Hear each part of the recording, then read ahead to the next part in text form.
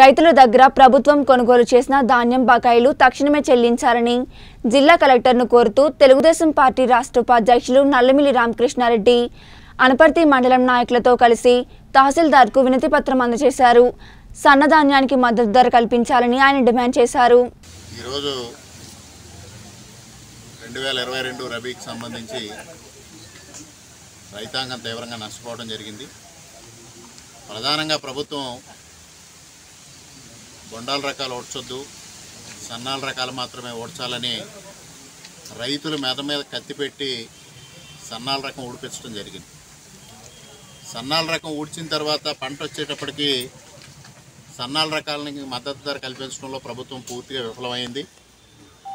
మరి ఏదైతే ఇవాళ బొండాలకి మంచి ధర పలకడమే కాకుండా దిగుబడి కూడా అత్యధికంగా రావడం జరిగింది. బొండాలకి సన్నాలకి వ్యత్యాసం చూసుకుంటే దిగుబడిలో దాదాపుగా ఇరవై బస్తాలు ఇరవై ఐదు బస్తాలు వ్యత్యాసం కనిపించే పరిస్థితి ఇవాళ రావడం జరిగింది.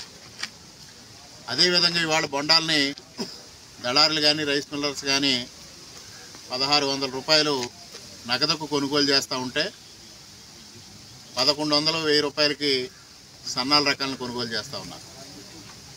ఇటువంటి పరిస్థితి ఏర్పడినప్పటికీ ప్రభుత్వం కొనుగోలు కేంద్రాలు ఏర్పాటు చేయడంలో చాలా జాప్యం చేయడం జరిగింది. సుమారుగా నెల పదిహేను రోజుల నుంచి కోతలు మొదలైనా కూడా ఇవాళ వరకు కొనుగోలు కేంద్రాలను పూర్తి స్థాయిలో ప్రారంభించలేదు. దానివల్ల ఇవాళ సీఎంఆర్కి పదమూడు వందల ఎనభై రూపాయలకు కొంటామని రైస్ మిల్లర్స్ చెప్తూ ఉంటే ఆ డబ్బు ఎప్పటికి వస్తుందో తెలియని పరిస్థితుల్లో దాదాపు రెండు వందల నుంచి నాలుగు వందలు తక్కువ రూపాయలకి బస్తాకి నాలుగు వందలు తక్కువకి రైతులు అమ్ముకునే పరిస్థితి ఏర్పడింది ఇవాళ. అదేవిధంగా మరో పక్క దిగుబడి తగ్గిపోవడం మరో పక్క ధర తగ్గడం రెండు విధాలుగా రైతు పూర్తిగా నష్టపోవడం జరిగింది. ఎప్పుడూ కూడా ఏ విధంగానూ రైతును ఆదుకునే పరిస్థితి. మరి పంట నష్టపోతే తుఫాన్ల వల్ల కానీ వరదల వల్ల కానీ నష్టపోతే క్రాప్ ఇన్సూరెన్స్ కానీ నష్టపరిహారం కానీ ఇన్పుట్ సబ్సిడీ కానీ ఇవ్వని పరిస్థితి.